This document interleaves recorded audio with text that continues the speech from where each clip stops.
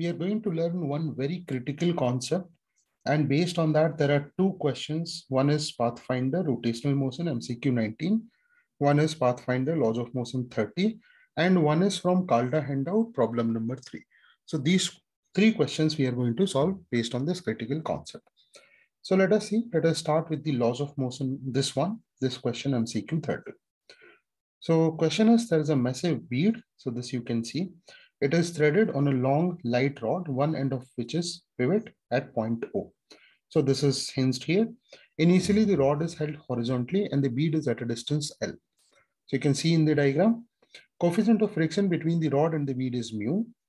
Which of the following statements correctly describe the rela relation between angle theta that rod makes with the horizontal after the rod is released and time t, right? So these are four options given.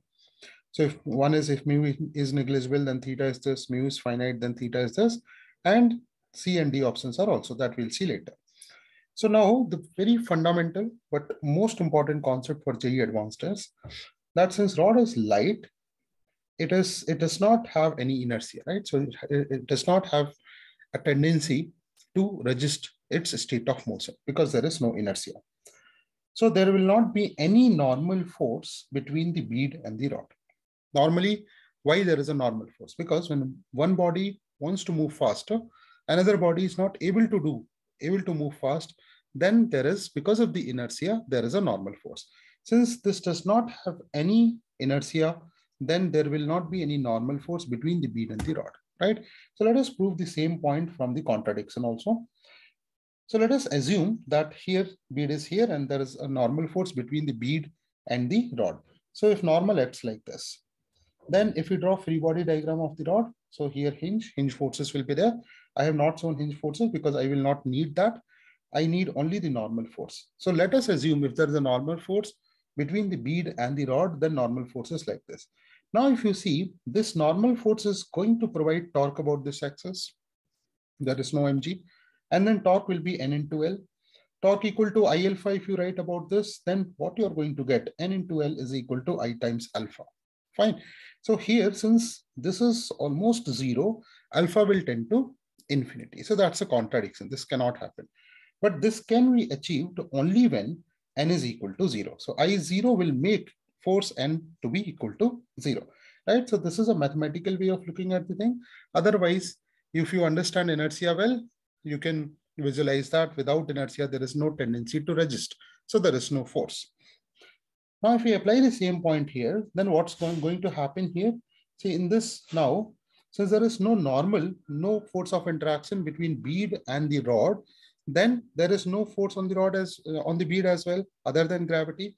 So if there is only gravity force acting on this, then bead is falling freely. So as the rod rotates, bead is going to fall freely. So bead is falling freely like this. You can see there is no other force, only mg. So acceleration of the bead is g downward and this angle is theta. This distance will be half gt square, ut plus half at square, u is zero. And then tan theta is going to be this distance by this, tan theta is gt square by 12, right? And this answer is irrespective of the mu. Mu is zero or mu is very large, it doesn't matter because there is no normal force, there is no friction force. So let us see now what all options are correct here. This is if mu is negligible, theta tends to this, right? This is right mu is finite, then also theta tends to this. This is also right because it is independent of theta. If mu is finite, theta is smaller than this by a finite amount. No, because its mass is almost zero. And this is of course wrong. So A and B are the answers. Fine. So the same concept now, let us move to the next question. This question is uh, uh, rotational motion, question number 19, MCQ1. Now you can try this question after learning the concept from previous one. So here there are two small beads. You can see these two small beads. Again, on almost inertial less horizontal rod of length 12. So this is 12 length. They are connected by a light inextensible rod of uh, cord of length 1.12. So they're talking about this cord, string 1.12. Initially, the beads are adjusted equidistant from the center of the rod and the rod is rotating about its central vertical axis, you can see, at an angular velocity 1 by 3 radian per second. So this is rotating. At some point of time, the cord is cut and the bead begins to slide on the rod without friction, right? Here friction is not given. Neglect the effect of gravity, which of the following statements are correct. So first two statements are the path of the bead from inertial frame is a spiral or a straight line. After that, we have to, in these two options, we need to find out how much time it's going to take when this bead leaves the rod, right? So again, the same, same concept, it is inertial Now, since rod is inertial there will not be any normal force between the rod and the bead, right? And it's well, since friction is, there is, it is smooth, so there is no question of friction. There is no normal force between the rod and the bead. Its velocity remains constant. So if there is no force on the bead from the rod, right? And we have to neglect gravity. So that means there is no force which can act on the bead from an inertial point, right? I hope you understand this point. So there is no force on this, its velocity remains constant. Now, initially, when it is rotating like this, bead has had tangential velocity. So let us see from this diagram. Right now, the omega was like this. If omega is like this, then the bead had velocity in this direction. At this instant, cord is cut. So when cord is cut, since there cannot be any normal reaction between the bead and this rod because rod is inertialess, massless. So there is no force on the bead, right? Same thing I, I'm saying again, because it's very, very important. So what's going to happen now, if you stand here and see from inertial point, then it's going to move in a straight line. Its velocity is not going to change. So when the rod comes here, then bead is going to leave the rod, fine. So how much, this is 0.6 L, this is L, so how much distance it will cover? 0.8 L. So how much time it will take? 0.8 L and the initial velocity. Initial velocity is R omega because this is 0.6 L. Omega is 1.1 by 3 and then you get 4 second is the answer. So let us see what all options are correct here. Path of the bead in inertial frame is spiral. This is wrong. Path of the bead in inertial frame is a straight line. This is right. The option is right. To leave the rod, the, rod, the bead takes 4 seconds after the cord is cut. That also we have calculated right? So B and C are correct. If C is correct, D is of course wrong. Fine.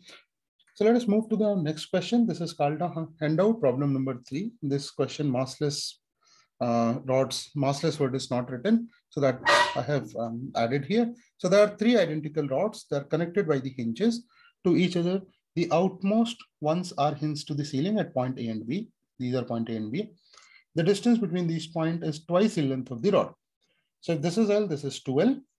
Weight of mass M is hanged onto hinge C. You can see here. At least minimum how strong a force on hinge D is necessary to keep the system stationary with the rod CD horizontal. Right here now, again, if rod is massless, another important application of the same concept we are going to learn now. Suppose that this is the rod. Then uh, if rod is massless, net force has to be zero, right? This we know. So if net force is zero, let us say there is a tension along the length so this if this is T, this has to be T. This will also be T, right? And suppose there are some tangential forces also like this, R1, then this has to be R1 because net force should be zero. But then this is not possible because this R1 and this R1 will provide a non-zero torque. If you provide, and then rod is massless, inertialess. So if there is a non-zero torque, alpha tends to infinity. So this is not possible. This is only possible when R1 is equal to zero. So if it is a massless rod, then what can happen? Tension can act only along its length.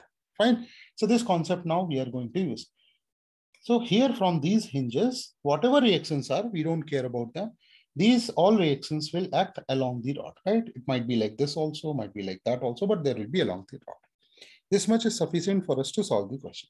Now what we are going to do, we are going to extend this and suppose this is point O. We are going to write now torque equal to I alpha about this point. So here everything is internal. Only external forces are this F, which will provide torque, this mg, which will provide torque about this point.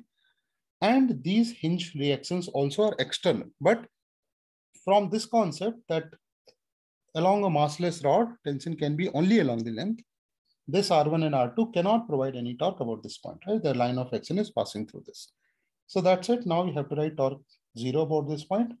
So for minimum force, this angle should be 90. Otherwise, you can write, you can take angle theta and see that after that, for to apply the minimum force, you have to, you will get theta as 90.